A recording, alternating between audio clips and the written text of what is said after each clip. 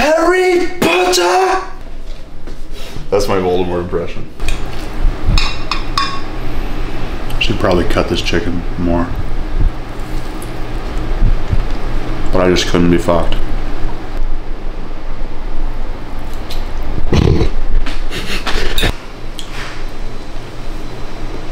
Welcome to the YouTube video. Got a push day today, which you haven't seen me do yet, at least recently, because I suck at pushing. Um, but hopefully I get just a big pump to make up for it. Feeling super tired, but the show goes on.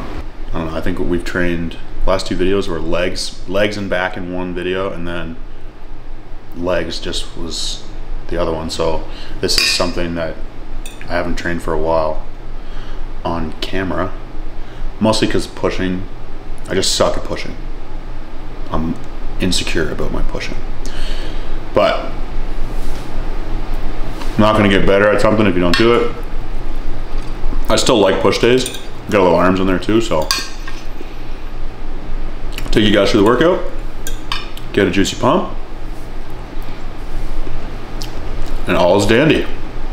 It's kind of like pudding. Which I don't even like, but this is pretty good. The texture is a little off-putting. Fuck, I'm such a genius. Uh, if you guys haven't noticed, I really don't care too much about what my food tastes like.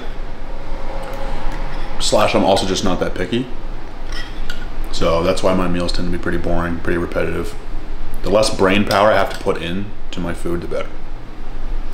Because I have very limited amount of that stuff to go around. Pre-workout meal. Uh, different than the last time.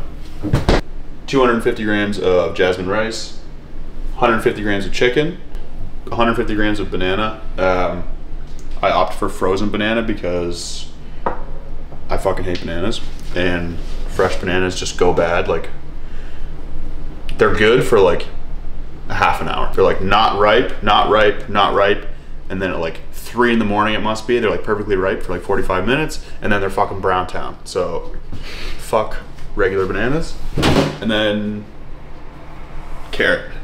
25 grams of carrot or something like that, which is like two bites, but that's just in there to reduce the rate at which this meal digests. Harry Potter! That's my Voldemort impression.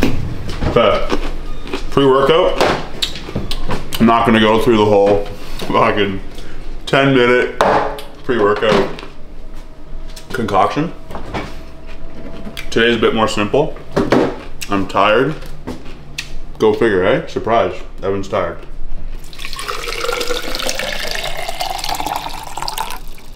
So I'm just gonna rip two scoops of mode right to the dome. Code Evan. I'm gonna do two scoops so that I look the strongest that I can on camera and the coolest. That's uh, 350 milligrams caffeine, I think, because it's 175 per scoop. Full dose of citrulline. And then in my intra workout, I'll do two scoops of carb powder and another scoop of nitric, that kind of thing.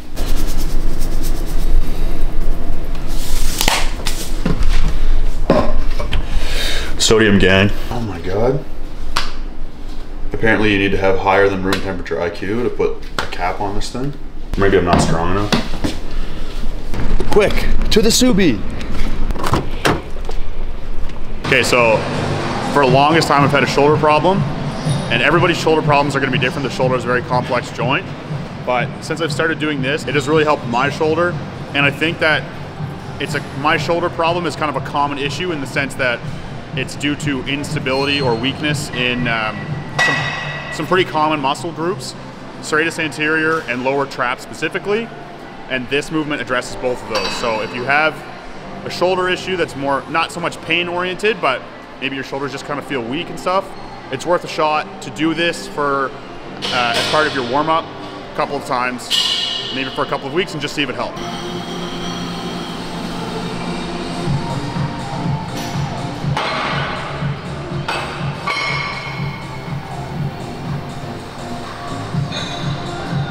General principle, like the cues, it's just a chest supported, slow tempo Y raise. And you just want to make sure you're kind of like reaching as far away from you the entire time. So at the bottom, you're reaching toward the floor. And then as you raise up, you're reaching as far away from you as you can. And you want to go slow and you want to stop when you start to feel upper trap front delt because the focus is serratus anterior, which is that muscle that's kind of like on your ribs and uh, lower trap. So I find it really helps me get my shoulders like they feel really stable doing pressing movements afterwards, um, whereas typically they're the opposite. And I get really bad, like my shoulder rounds forward and it become every press movement becomes a front delt movement. So that would be my advice for one of the shoulder movements I've done, and I've done a lot because I've had this shoulder problem for a long time that has actually helped. Fuck all that shit. That's just, unless you have like a damaged rotator cuff, like an injury where you tore it or something like that, you don't need to do all this bullshit. Like, your rotator cuff is not meant to like sustain a ton of load. So strengthening your rotator cuff is just going to increase the inefficient compensation pattern that your body has developed to make up for weakness in other areas.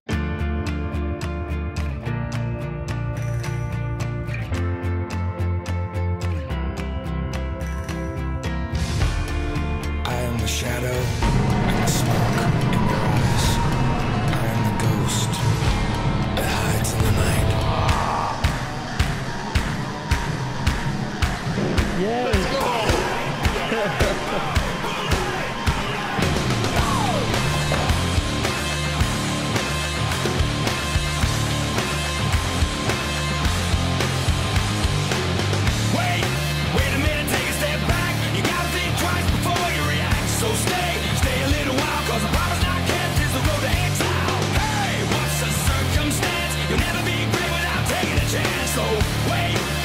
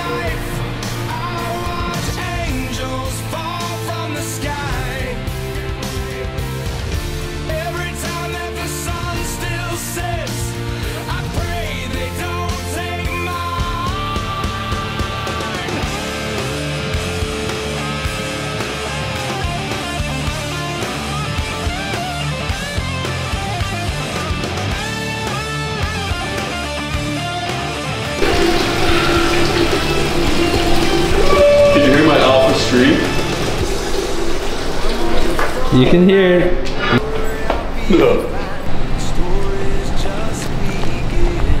You see that? You get that? Yeah. Get that? So long to regret. I mean, it ain't the Subaru Impreza, but uh, it's pretty sweet. So, whoa. Even though my I love my Subi, it's not like a high-end import. It's an import, right? But anyway, uh, next vehicle, as long as this one doesn't break down on me, which it shouldn't. That was part of the reason I bought it. Uh, BMW M3 G80. So 2021 or 22, that's the G80 chassis. That's gonna be my next car, I think. I hope. I mean, I love the Subi, but you know, it's just it's a little too cool. It's a little too flashy. So, I just want to like tone it down a little bit. It's too fast. Alrighty, guys. So, uh, workout finished. Started with calves because I think I've explained this in like the last video. Um, they're a lagging body part, so I'll start with them. I've I'm more fresh in the beginning. You can provide a greater growth stimulus. Thank you guys for watching the video. I hope you enjoyed it. Um, as always, you can use code Evan on Young LA for clothing or Gorilla Mind for supplements um, for a discount and to support me. I really appreciate it. Um, it is the foundational reason that I'm able to do what I do, um, providing content and you know value for you guys. Um, so feel free. And if you ever use my code on anything, take a screenshot of the order with my code applied and DM me on Instagram so I can thank you personally. Um, but yeah, appreciate you guys. Like the video if you did like it, and comment anything at all. Comment balls, butthole. I don't care. It's good for the algo. And sub the channel if you feel so inclined. Uh, again, really appreciate it. Um, really working on getting this YouTube grind becoming like a very regular thing. So I'll see you guys in the next one.